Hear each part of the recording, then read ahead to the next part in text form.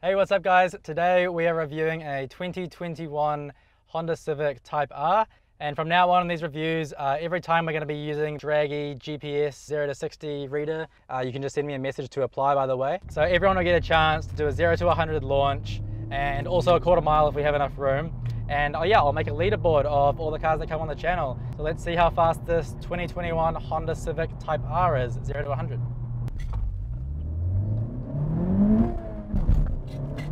that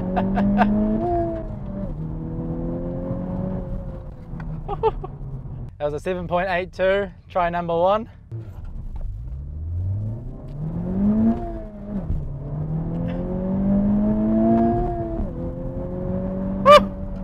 oh, that was a 7.3. That was much better. You want to try one more time? Yeah. Yeah, we'll go for we'll go for one more. That was better. Oh, 7,000 RPM. Woo! 7.1 that time. That was good. It does not feel like 7.1 though. Yeah. Damn.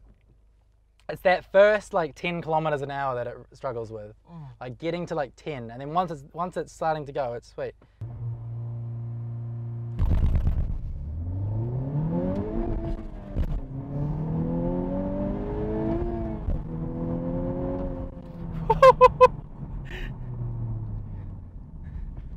Now that was a launch. Holy. All right, so that was a 7.42. We're gonna try to do a bit better. Clutch in, foot down.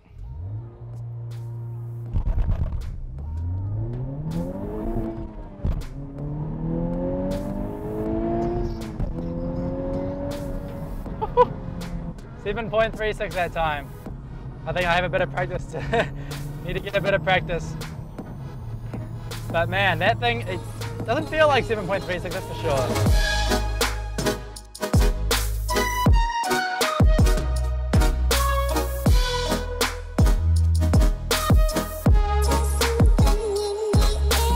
This is actually the first Honda I've ever driven, really. Uh, I think I drove an Accord for a few days once, uh, rental. But yeah, this is my first Honda experience. Um, we just went for a quick boost to get used to the car and I'm pretty impressed. So yeah, we're gonna get into it and we're out in the country, gonna go for a cruise and see how this thing performs. So this car has 306 horsepower, powered by the Honda 2 liter turbocharged four cylinder, and that's going all to the front wheels. The very first 2021 model year Type R in New Zealand. He only got it a month or two ago. And because they didn't sell the car in yellow like they do in the States, the owner has wrapped it in a really similar yellow than it comes from the factory on the uh, limited edition model. You know, you don't really see too many yellow cars, especially in New Zealand. I think I hardly see any of them around. But first impressions on this thing, handles amazing. I got to get used to the uh, automatic blips for the, you know, when you downshift, it automatically rev matches for you. Bit hard to get used to that, but man, this thing just goes and goes and goes.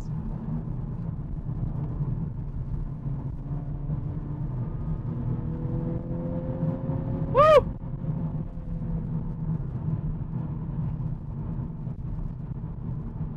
Out all the way to 7,000 RPM, but because of the turbo, you don't really feel the VTEC as much, but you sure do feel the boost. And this thing just grips around corners like nothing else.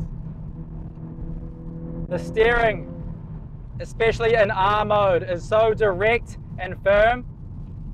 Feels amazing. Earlier today, I was doing a bit of research on the Type R and I saw that Car and Driver rated this above a Subaru WRX, but below a Volkswagen Golf GTI. And especially after driving it, you know, when I first read that, I thought, that's a bit crazy. You know, obviously the GTI, front wheel drive as well, WRX, bit of a different car, all wheel drive. But I think this is, especially after driving it, I think this is a lot more fun at least than a GTI. So the first Type R was the NSX Type R in 1992 and basically all it meant back then was it was a bit lighter, 300 pounds lighter I think. It had six more horsepower and obviously some cool red badges and maybe a few other aesthetic things to go along with it. And since then, Honda has really, you know, stuck with the Type R. It's like their pinnacle, you know, series for Civics, Integras, and it means a lot more than just a little more horsepower and a red badge these days compared to the base models. So with the Integra Type R, the uh, modifications got a bit more serious and a bit more sort of race track focused. So the chassis were stitch welded, they got LSD differentials, they got close ratio gearboxes, red interiors, and the Recaro seats. And then the first Type R Civic was the EK9, which came out in 97. And that had the uh, B16B engine, which at the time was one of the most powerful engines per litre naturally aspirated. So even though it only pushed 182 horsepower, it was per litre one of the most powerful engines uh, in any car on the road.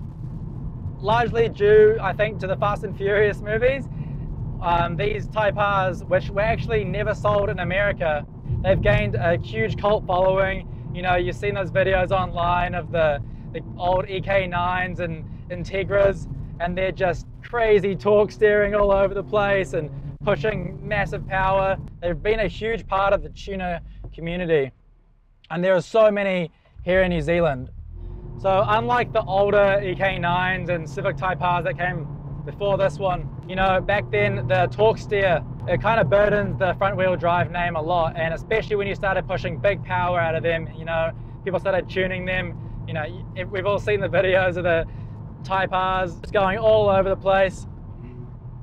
And um, Honda claims to have almost completely eliminated that issue with this new model. So it has a very unique dual strut axis front suspension system, which is basically just magic and um, almost completely eliminates the torque steering from this. And honestly, I didn't feel any at all until we got up to like 6,500 RPM. It's just solid, You feel a tiny bit of pull there. But this thing is just wild. It carries itself through the corner so precisely. It's got almost zero roll. The steering is so tight, it gives you so much confidence. The power band is actually really, really smooth despite being turbo. It brakes really well with these Brembos. The auto blip, when you're downshifting, just makes it effortless to slam it into a corner, chuck on the brakes and downshift, and then you get out of it and you just start flying again. I absolutely love the interior. We've got the red sports seats. We've got the Alcantara steering wheel. So this car actually holds a world record at Suzuka Circuit in Japan. World record for front wheel drive car around that track. I believe it's only two minutes and 23 seconds which is really impressive. One for a car that only has 300 horsepower and also front wheel drive. So we're getting into a bit more of a open roads now. We're in fifth gear and we're just flying around these corners like it's nothing. Whew.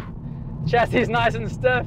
As soon as the car gets into a bit of bounce, it just kind of holds you there and it's a bit uncomfortable, but it just, it stays planted so well.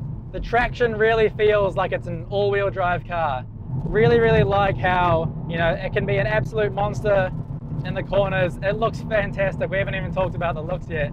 And, you know, meanwhile, you can chuck it back into comfort mode and it's just a chill, nice, you know, daily car. You know, you could easily commute this to work.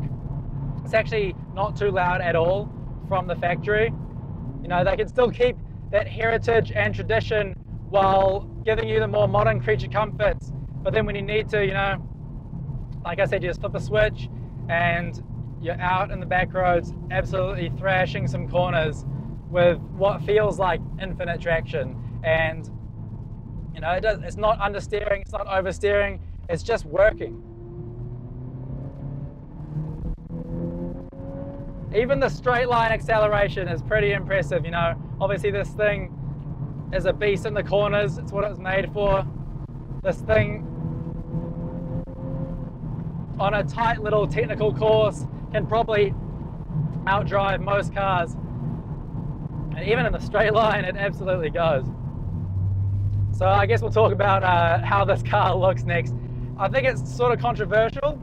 Um, obviously, it's a very, very bold look, especially probably even more in this yellow now, but I personally love it. I think Honda did an amazing job.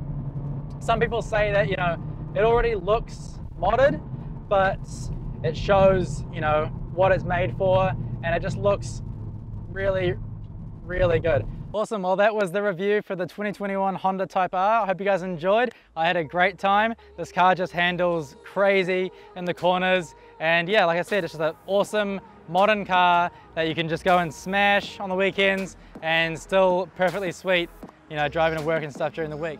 And yeah, it goes hard. For a front wheel drive 300 horsepower car, I was very impressed. So yeah, that's pretty much it. I hope you guys enjoyed. If you did, leave a like down below. Leave a comment, what do you think about the 21 Type R? And we'll see you next time.